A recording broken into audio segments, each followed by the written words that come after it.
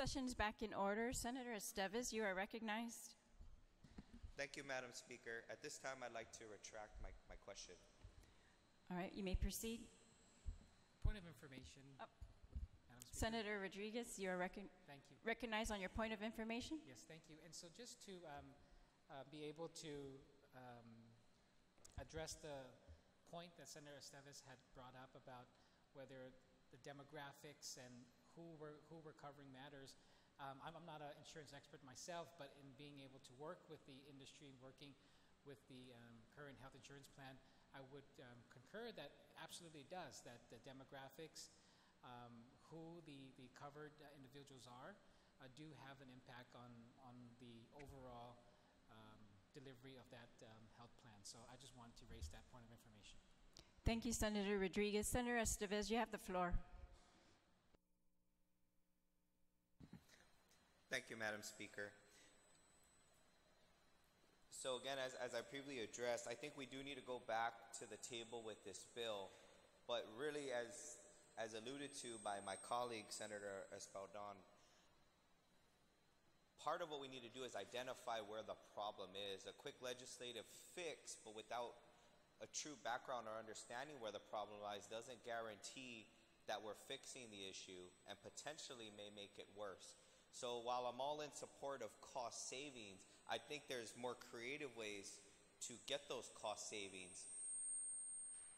But more importantly, we need to do so with an understanding of what it is we're doing.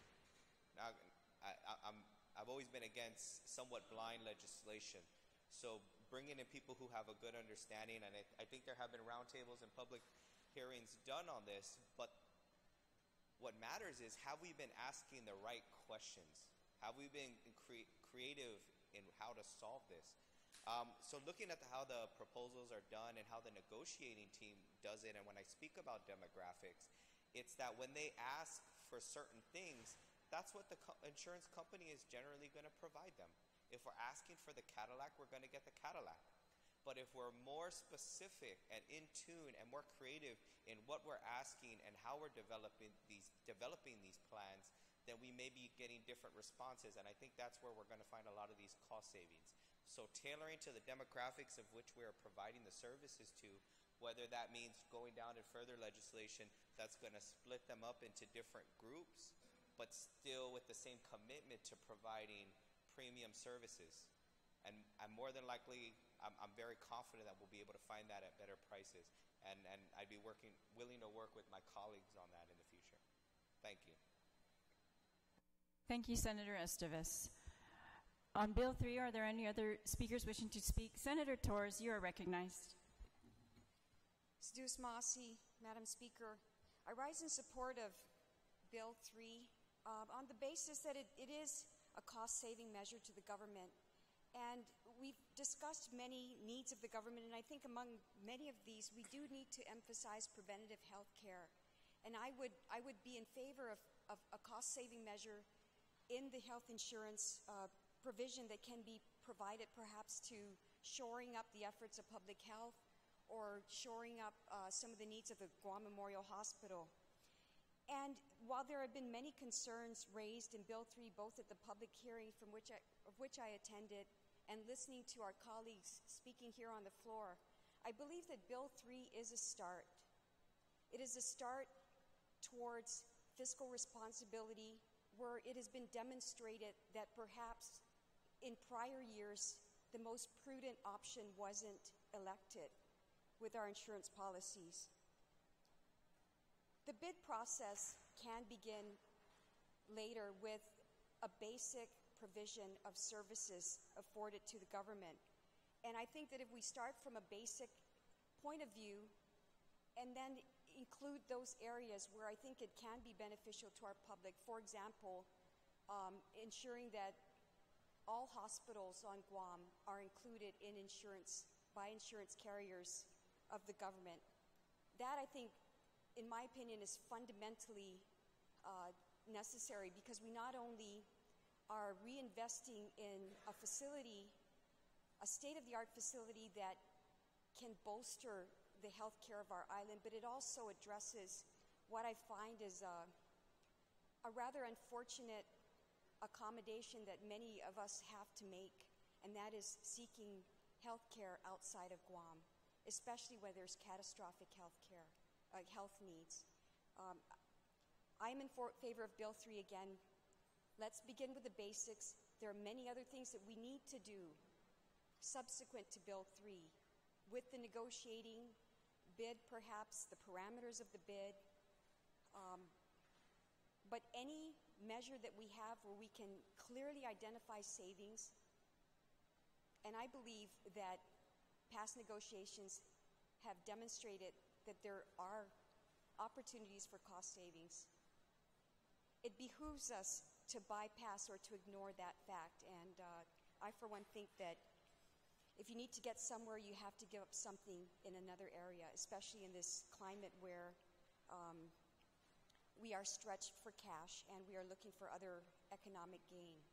So I rise in support of Bill 3, and I urge my colleagues to please think of it at its most fundamental uh, intentions, and that is to realize savings where it has been demonstrated that savings can be realized. Si Yu'os Ma'åse'. Sedulous Mossy, Senator Torres. Is there any other member wishing to speak on Bill 3? Senator Biscoe Lee, would you please preside? Uh,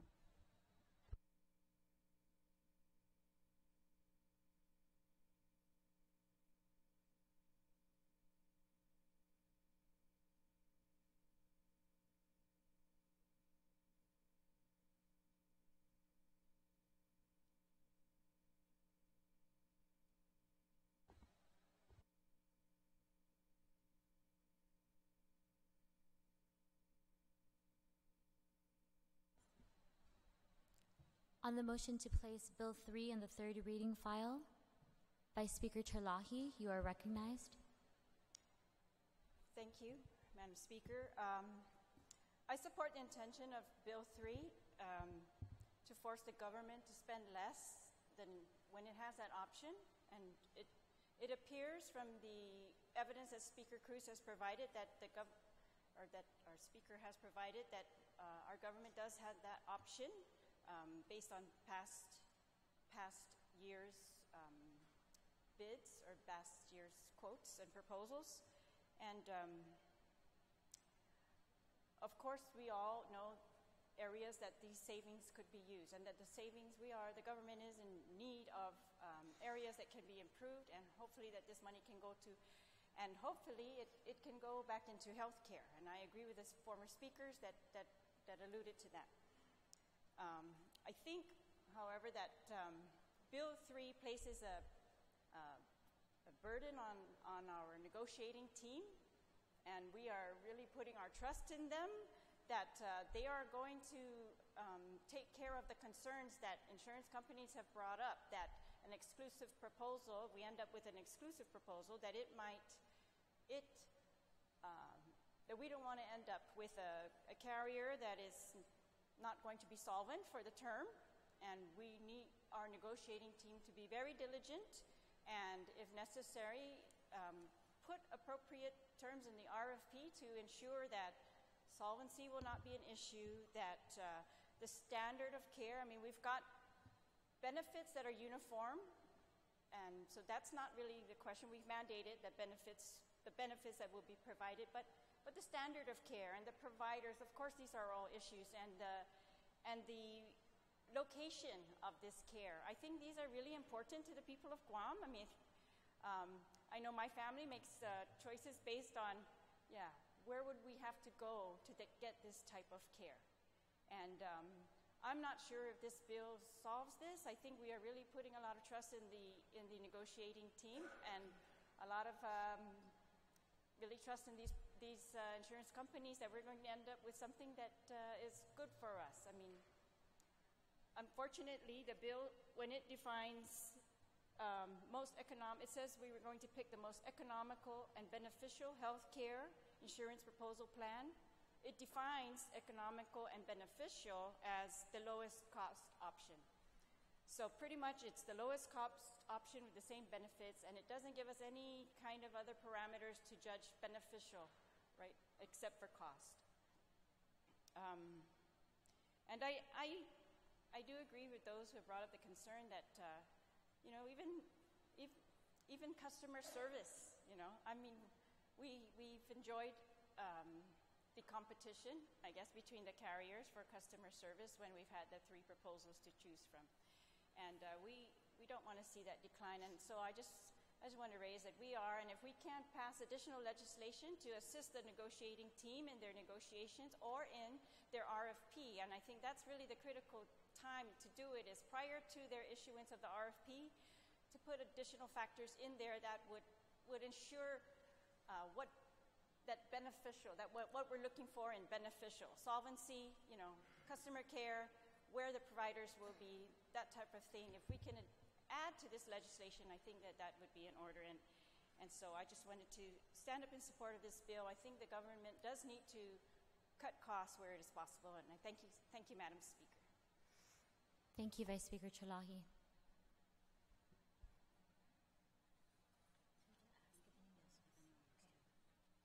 I'll just wait for her to come back up.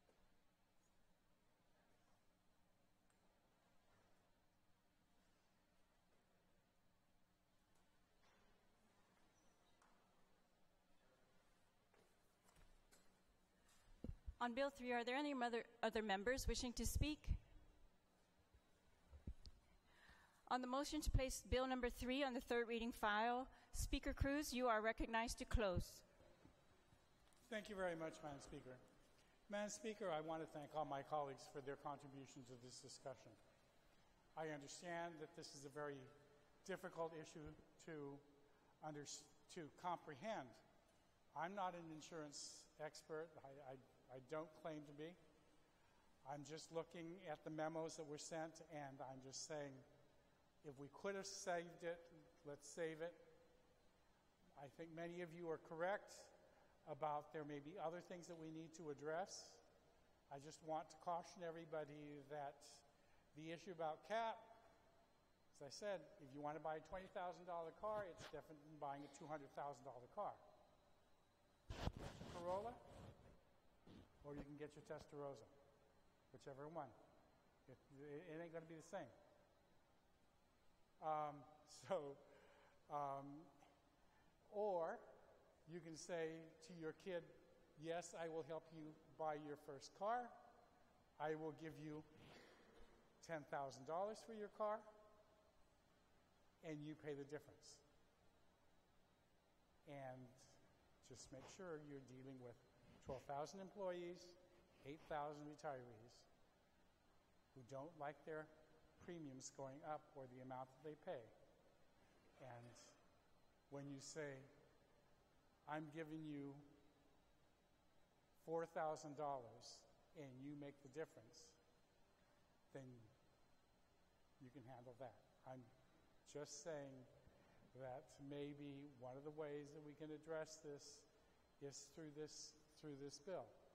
Um, or we can get realistic about the, issue, the, the benefits that we're, ask, that we're asking for. But that's a whole other, that's a whole other discussion.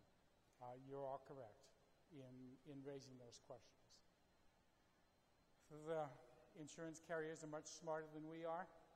They know it depends on the split. They're, they're bidding to make sure that they get the enrollment, and they underbid on one side in the hopes that they can, that knowing that the law says that you shall not charge a retiree more for the same level of service um, as a active employee, and uh, we cost a lot more because we're older. Um, and so um, that's going to change. I just want us to be do, enter this with eyes wide open, and uh, I just thought that we could bring this out and and have the discussion. And I thank everybody for uh, their contributions to the discussion.